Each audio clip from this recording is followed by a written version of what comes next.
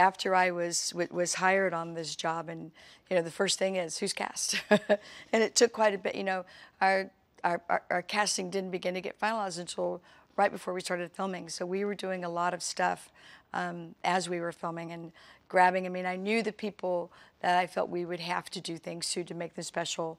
Um, you know, like Rudy Giuliani. He's such a specific look and, you know, doesn't have a lot of hair, so we knew we couldn't just style it to make it work. And, and Rupert Murdoch being another one. And so we kind of knew we were going to have to do stuff along there anyway. And so as soon as they were cast, we had them go get a life cast. We, and, and we've used different, you know, I think Rudy was in Atlanta, so we started there, had the life cast sent to Los Angeles, and then began that process. And again, trying different stuff, you know, I mean, the actor playing him, we, we have to bring these things together. It's quite, it, it's quite a large, a bunch of large pieces.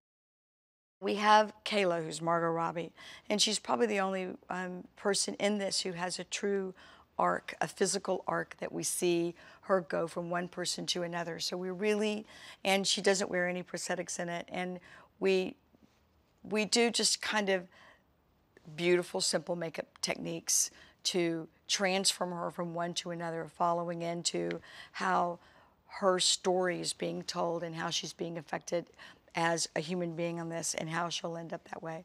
And we are using makeup. You know, the, the anchor look is so famous for its lashes and, you know, he heavy skin and heavy eye makeup and that flawless look of the Fox girls. Most of their lips were all pretty shiny, not really dark or red or anything like that, but very shiny and lots of lashes. And, you know, it's not unlike us to like put, stack three or four sets of lashes on top of someone just to be able to get the look that we need. Charlize is very collaborative. She weighs in. She has an amazing eye. She's very good at makeup herself. So, you know, to it's it's great to work with someone like that because they know a lot. So again, you know, here I am and I you you work with Kazu who's great and Charlize who's great and and then so it really it's fantastic because everyone comes to the table with their highest bit that they can come. But we I think we felt that we discovered that to get the look that looked like Megyn Kelly didn't need to be changed a lot. We felt it would be too confusing. You know what I mean? To have all the prosthetics and to get that look, we felt like we get a look that's locked for her at work. Her work look, her um, on-camera look, excuse me, that was lovely. Her, her work look, her on-camera look. And then when she's at home and other stuff, it's definitely not the lashes and it's definitely a different look for that. But we didn't, it didn't feel like it needed it and I don't think her character went through that. She was always very um, business through the whole thing. You'll find it in her performances. It's quite beautiful.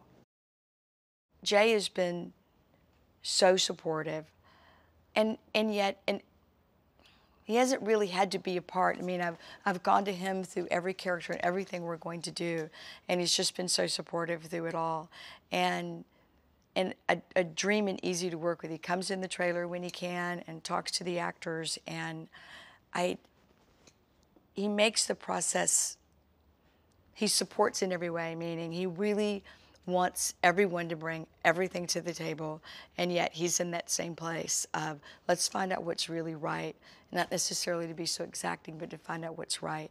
And what's interesting is that he, we are seeing the same thing. So it's just been a, it's been a beautiful ride.